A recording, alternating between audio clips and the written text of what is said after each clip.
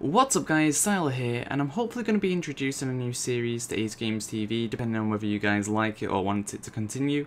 And basically what it's going to be is, it's going to be aimed at YouTubers or people who want to start YouTube, um, and it's going to be hopefully to help you create better videos and help you get onto the scene and, you know, start making videos and make them really high quality and things like that.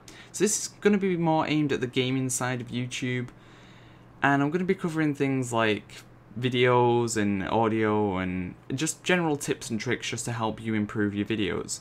So there's a few things that take or take out of you to, to be a good YouTuber such as having good quality commentary. Now that's more of a thing that comes with time and practice but there's something you should be able to achieve within your, uh, your first video and that is general video quality such as the the video is HD and doesn't have black bars and it's readable and like clear to see it's not pixelated. And the audio is is clear to listen to there's no really loud noises there's no like high-pitched hissing. You know just a good clear video that people can enjoy to watch. As I always tell people try and create a video that you would watch yourself. So I wouldn't go to a high quality YouTuber and watch a video with a giant black box around it because that would be unprofessional and un it wouldn't be very good quality so try and produce something you'd want to watch yourself. That's the biggest tip I can get or give. And the first thing we're going to be working on today is um, audio quality. Now this is going to be using the program called Audacity and I absolutely love this program because it's free first of all and it allows you to do everything you'd need to do. Um, I record like 99% of my commentaries using this program because it's just very uh, simple to use. It's low. It like doesn't use much to run.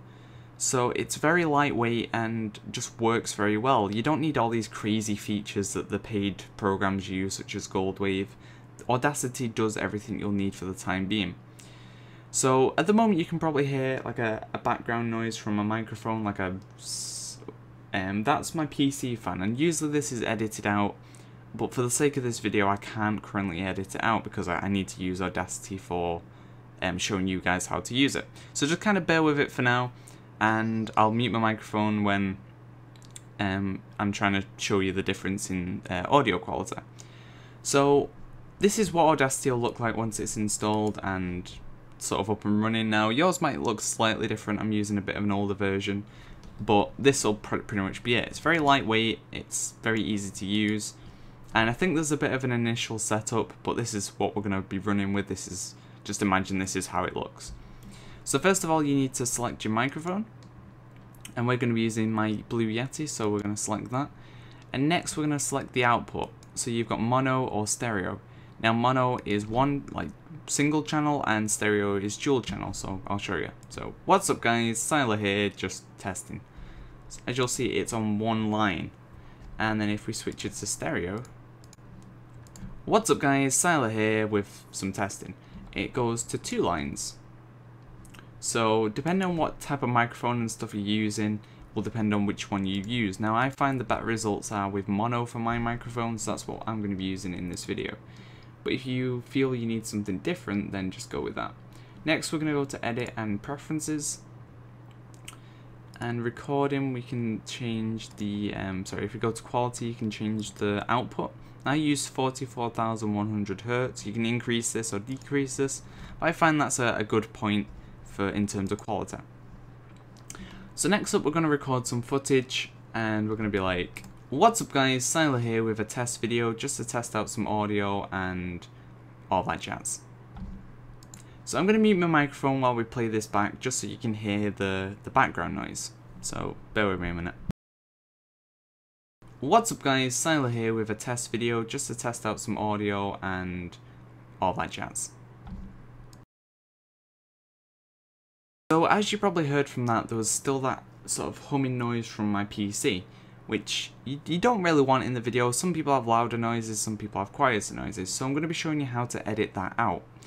So what we're going to do is go to the end of the clip and we're just going to record silent, so don't say a word, don't do anything, just try and be as silent as possible but keep your microphone on so it can record the background noise.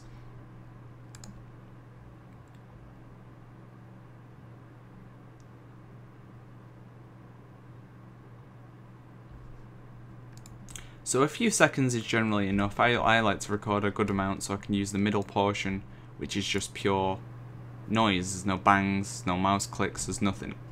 So we're going to drag my mouse and select a portion of this clip that's got no sound in it, just the, the background noise.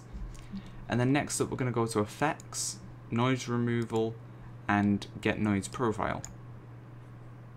So now that selection of a section of clip is what we want to remove, the noise that we just don't want in the video. So we're going to select the whole clip by doing Control A, and that'll highlight the whole clip.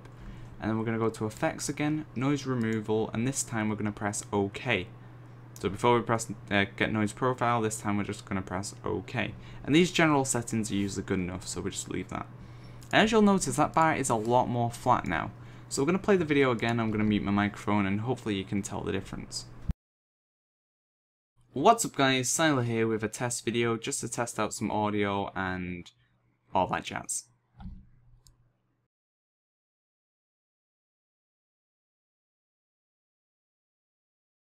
Started recording then instead of playing.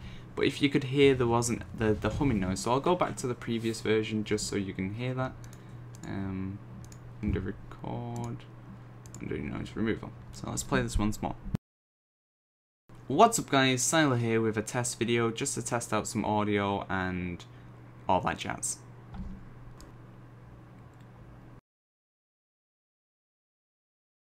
What's up guys, Syiler here with a test video just to test out some audio and all that jazz. you've seen quite a big difference, like the, the background sound is pretty much completely gone. Yeah, there's still mouse clicks and knocks from myself, but they're things that you just can't help. Just try not to do them.